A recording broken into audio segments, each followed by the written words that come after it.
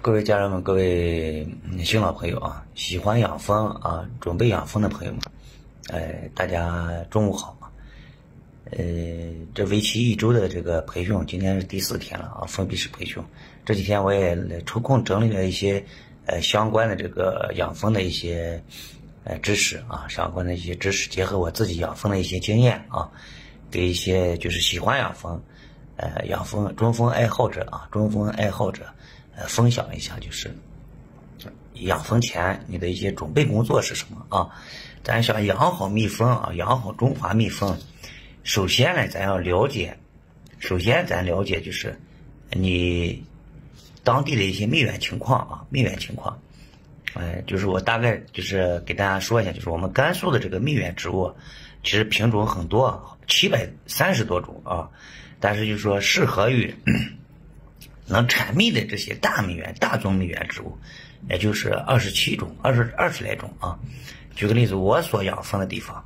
我所养蜂的地方呢，这个大蜜源植物是什么啊？你看我所养蜂的就是甘肃省天水市麦积区党川镇啊。党川镇的话，它属于秦岭山脉啊，秦秦岭山区，海拔在一千八百米。我那个蜂场是海拔一千八百米到两千米，它所所的蜜源植物是什么啊？咱说大蜜源植物就是成成片的，离你的这个养蜂，呃，直径在三到五公里啊，不要超过五公里或者三公里之类的这种大宗蜜源植物啊。你看，像我的那个山里面的蜂场，主要是什么？呃，五倍子、椴树、漆树啊，漆树。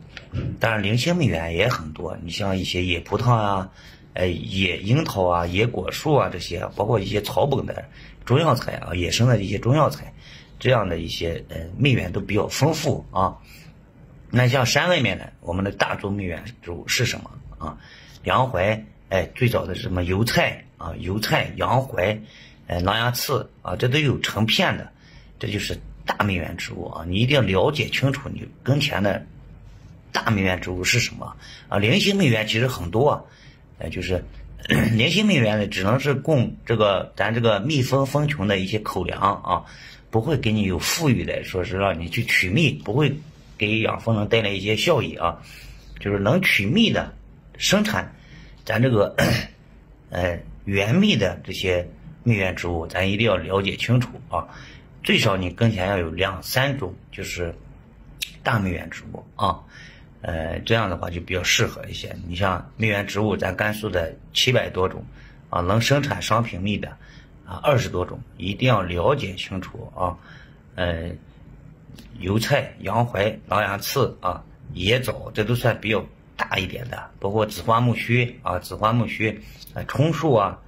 臭虫啊，这些都属于比较大一点的蜜源植物啊。呃，你像这什么，呃，樱桃啊，果树这些就。这就属于零星蜜源啊，零星蜜源，桃杏李啊这些果树啊，这些就属于零星蜜源啊。首先咱要了解，就是你跟前的这个蜜源植物啊是什么。第二就是你要掌握你的这个跟前你的这个所处的这个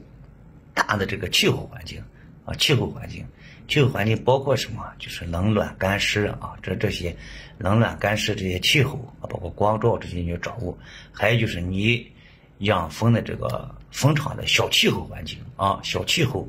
也很重要啊，包括蜂场周围的这个有没有干净的水源，水对蜜蜂的这个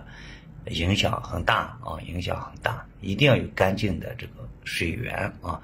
呃，这是我们养蜂之前必须要了解蜜源跟你的这个大气候，包括小气候啊，因为你错个五六公里都有会有小气候的差异啊，包括你山上跟山下，呃，气候差异都是不一样的啊，所以咱一定要了解清楚。然后就是咱要首先要考虑你养什么蜜蜂啊，咱第二个问题就是说一下就是。蜂种的引进问题啊，蜂种的引进问题，啊，这个问题是比较呃重要的啊，蜂种的引进问题。你像我养的就是咱秦岭的，呃，一些秦岭中蜂啊，黑麻蜂，它的这个抗寒性、抗病性、抗逆性啊，呃，包括它的一些呃蜂蜂性啊，哎，呃，还有这些飞桃性啊、道性啊，哎，包括一些这个抗病能力啊，哎，什么抗欧幼啊，抗这个狼状啊，哎，这些都要了解啊。我们这个秦岭中风啊，它就是分风性哎比较弱啊，呃，维持强琼，然后采蜜型的这个蜜蜂啊，它的采集能力比较强，抗病能力、抗寒能力、抗逆性比较强啊。海拔在一千八百米到两千米左右啊，就是这么个蜂种，就这么个蜂种。但是我给大家的建议就是，如果说你引种或者说 引种的情况下，就是还是从我们当地去选购一些好的这个风种啊，当地去选购一些好的风种，不要这个跨度特别大啊。那么我们要了解咱这个中风的。品种到底有哪些？中风的品种是按地域性来来划分的啊，这个大家一定要了解清楚。像我们这个秦岭蜜蜂啊，它的品种就属于我们的北方中蜂啊，北方中蜂，北方蜜北北方蜜蜂啊，这个这个呃咱了解到就就行了。这个其实按照是地域性来划分的啊，你包括呃华南啊、华北啊。呃，这些这些这咱这个蜂群就是按地域性来来划来划分的啊。你看这个，咱这个中风的品系有有北方中风、华南中风啊、华中中风、云贵高原中风啊、长白山、海南啊、阿坝啊、么呃西藏啊，还有什么正南啊，这些就是按地域来划分的。咱都属于北方，北方的品种啊，北方的品种就是正常情况就是黑麻蜂啊，蜂王就是黑麻蜂比较多一些啊，采集能力比较强啊，采集能力比较强。那么，呃，有的人可能说最近啊，说可能从网上有有啊什么刷到什么什么伏牛王这个王那个王啊，什么双色王啥的这些，大家一定要呃清楚，这个是有地域性的，要有地域性的。它不是说它这个蜂种就是，呃，蜜蜂的品种就是这个，它品种是按照你地域性的，啊，没有说这个这个种类是什么样，而是按地域来划分，一定要清楚你当地适合养什么样的蜜蜂啊，一定要适适应什么蜜蜂，因为你举个例子，我们甘肃养蜜蜂，咱就养北方蜜蜂啊，秦岭蜜蜂或者当地的这些土蜂是最好的。如果说你你引进云贵高原的，对吧？这些蜜蜂过来可能不适应，它蜜蜂迁徙啊，它是一年一年的迁徙，它的这个各方面它是有变化的啊。你像你，你把四川的蜂种引过来，举个例子，它首先它那边的气温高，咱这边气温低，它越冬期，对吧？你像今年这个特殊情况，咱这边的蜜蜂越冬期可以达到六个月，真正版你达到六个月。现在蜜蜂还没有大面积开展，对吧？如果那边的蜜蜂天气暖和，人家停产的时间就三个月，你引进过来，你试一下，你的蜂王第一个冬天，你的蜂群第一个冬天能不能安全越冬，这就是个问题啊，这就是个问题。所以大家一定要了解清楚在这个蜂种啊，蜂种的一些特性，一定要了解啊。这个问题我给大家说一下，就是如果说你是大规模的养，一下你就引进个几十箱啊，几十箱。有项目的这种或者上百箱的这种，一定要根据当地的气候选择一些，就是跟当地气候相差不要超过四五度的这种这种蜂群啊，蜂群包括它的这个采集能力啊，看是你你养蜂的目的是什么，对吧？嗯，你如果说你出售蜂蜜啊，或者说授授授粉啊，呃，还是说你你你有别的用途，还是出售蜂群，还是繁蜂为主啊？这个一定要根据你自己的目的。去引种，如果说只是一些爱好者，啊，你只是一些爱好者，我哎养个一两群，或者三四群，啊，那我建议，如果你当地有这个大型蜂场，或者说当地蜜源植物丰富，你可以选一些好的呃地方去诱蜂啊诱蜂。我给大家说一下，就是我们党川镇有有一个沟啊诱蜂很好的沟。人家有勤快的人，就是深深深山老林里面去诱蜂，人家一天能最多的能诱到二十群到三十群，啊，一天能诱到二十群到三十群蜜蜂，啊，就是蜜蜂分蜂期，啊，这个是个很恐怖的事情，所以他引种他他那个蜂种就不需要去购买，对吧？如果说咱这个当地有这个呃蜜蜂比较多，蜜源植物比较丰富，你诱蜂的话还是比较容易的啊，比较容易的。你说你就养个几熊玩一玩，哎，你可以多放几个诱蜂桶，对吧？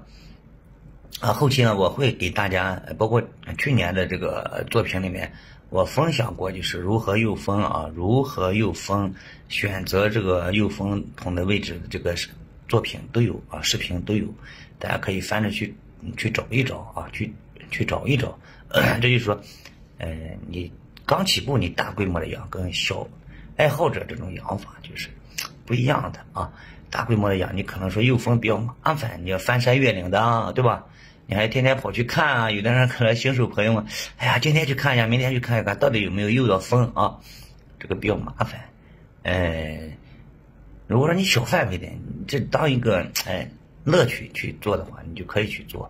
如果说你去大规模的当一个产业去发展没有蜂的话，可能比较费功夫啊。呃，你真的说你上规模的养，你就没有时间去诱蜂啊，没有时间去诱蜂。这就是咱的区别。你是准备当一个兴趣爱好做，还是准备当一个产业来发展啊？这就是你引种方面，我给大家的一些建议啊，就是购买蜂种的时候给大家给到的一些呃建议啊，一定要了解咱这个地域性的这个蜂种的不一样的特性啊，不一样的生物学特性，它是真的是不一样的啊，蜂王的表现绝对不一样，有的它就是采蜜型的啊，维持采蜜型的蜜蜂不一定穷势很大，六匹七匹的蜂采蜜。它一直能维持那个六六匹七匹的强穷的这个呃风风量啊，采蜜特别厉害啊。有的你看它是爆箱了十匹，甚至你加季箱了，但是它不见得能打下蜜啊。所以说，咱把这个蜂种的引进一定要考虑清楚啊。这个就是给大家的建议，就是千万不要去图一些便宜的东西啊，图一些便宜的东西，便宜的东西。上个视频我也给大家说过，一分价钱一分货，你太便宜的东西，你后期你的花费会会超出你的预想啊，会超出你的预想，因为蜜蜂本身是一个灵虫啊，本身它就是一个灵虫。你说，呃，像中蜂养殖，其实怎么说呢？就是，呃，分自古以来它分了两个阶段嘛啊，第一个就是从，呃，有人类以来，它就。有这个野蜂，它就是野产蜂蜜啊，它是从野蜂的这个蜂巢里面获取蜂蜜。第二个阶段才是啥？把野蜂驯化，就是把野蜂哎的给它安家，慢慢的迁移，迁移到哎方便管理的自己的场地上来啊。这是 第二个阶段，就是驯化人工养殖。这个人工养殖驯化就是。中国养蜂第一人啊，就是咱这个天水啊，天水人，他的名字叫姜齐啊，东汉时期的人，东汉时期的人，啊，在我们天水，呃，青青州区啊，青州区，就是最早中华蜜蜂的这个鼻祖，就是我们甘肃的，甘肃天水的啊，所以说，我认为我们既然甘肃天水有有这么悠久的这个养蜂历史，那我们为什么不能做这个养蜂产业，对吧？嗯，我们要不断的，还是要不断去宣传，还是我们没有做到位，说明啊，嗯，这个视频呢也比较长，给大家暂时分享这啊，下一个视频我给大家再分享，呃，别的内容啊，别的内容，好，感谢各位新老朋友的支持。